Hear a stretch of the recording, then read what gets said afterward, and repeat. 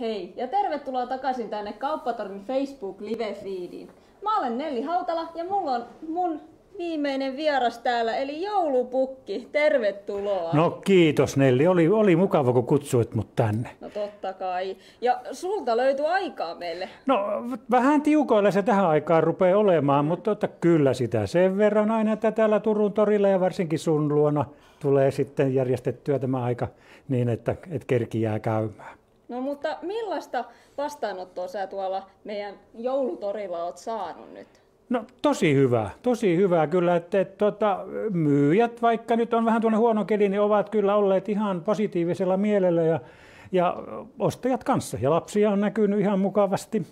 Enempikin voisi olla, mutta tota, eiköhän se tästä jos vähän paranisi noin ilmat. Meillä oli Korvatunturilla ihan kivasti oli lunta. Ai, mm. ihanaa. Mutta tuota, sieltä jouduin lähteä kyllä tuota, ensiksi helikopterilla Rovaniemelle ja sieltä lentäen Turkuun ja taksilla tänne. Kun Petteri sanoi, että ei hän tämmöisessä vesisateessa viitin lentää. Mä ymmärrän mm, hyvin, ei, mm. ei hirveästi tee mieli itsekään mennä ei. tuolla. Ei. Mutta onko tämä nyt sun toinen vuosi, kun sä oot viihdyttänyt meitä täällä joulutorilla? Joo, joo, joo kyllä. Ja mikä saa palaamaan? No kyllä se on, on tämä Turun atmosfääri täällä. Ja sitten kun tämä poroparkki, mikä tuohon taustalle valmistuu, niin sitä poroparkkia kovasti odotetaan kyllä. Tuota, onko se nimi? Eiku, Toriparkki, Joku, toriparkki, toriparkki, mutta me puhutaan aina poroparkista. Petterille on sanonut, Aivan. että se pääsee sinne poroparkkiin sitten, tuota, että siellä on helppo ruokkia sitä. No niin. niin. Mutta Miten teillä menee nämä jouluvalmistelut? Onko se niin, että pukki rehkii vai että muori ja tontut rehkii? No mähän rehkin täällä ihan koko ajan. Ihan hirvittävä työ on kantaa tuota. Otatko karamelleja no, täällä? Ja... voin ottaa, niin. kiitos. Ja sitten on heijastimiakin. Otappa heijastinkin. Näitä on jaossa tuolla, tuolla kun minä liikuskelen. Niin on, tämä on, tää on, tää on aika raskasta työtä kyllä.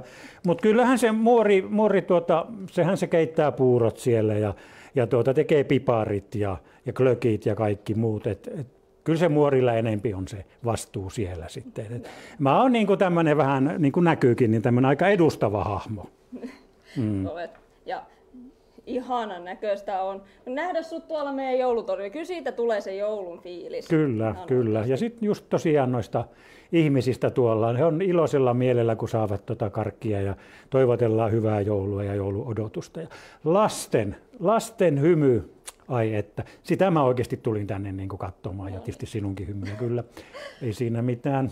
Kaikki aikuisten hymy kyllä, se, se on. Kun tämmöinen ilma on, ihmiset kulkee vaan sieltä mörtsinä, mm. mutta kun toivottaa hyvää joulua, niin sitten sitä yhtäkkiä on, kun aurinko paistaisi. Näinhän se on. Mm. Mutta mun edelliset vieraat, mä en halua aiheuttaa mitään lisäpaineita nyt tähän joulukriisiin, mutta heillä olisi pari lahjatoivetta.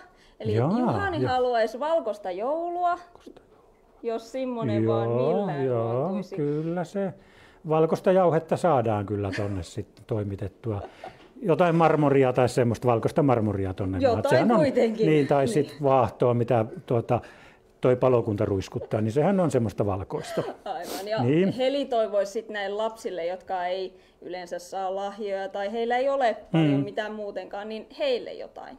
Kyllä, kyllä. Eli tulee mieleen insinöörit, kun hehän yleensä ovat vähän lahjottomia, niin heille on myös tuotu paljon, paljon lahjat. Kyllä semmoisille lahjottomille lapsillekin saadaan jotain, jolla ei ole varaa muuten, niin kyllähän pukki toimittaa kaikille lahjoja. Kyllä. Kyllä. Mutta mitä pukki itse haluaisi jouluksi?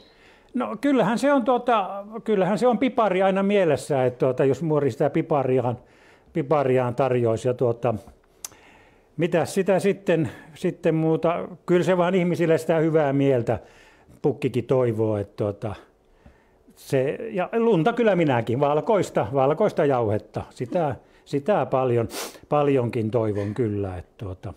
No mutta kiitos tosi paljon joulupukki, että ehdit tänne meille. Ja tämä oli mun illan viimeinen haastattelu, mutta yhden aikaan Mirva-Mari jatkaa tästä. Kiitos katsojille ja hyvää joulun odotusta. Hei hei kaikille lapsille ja lapsenmielisille.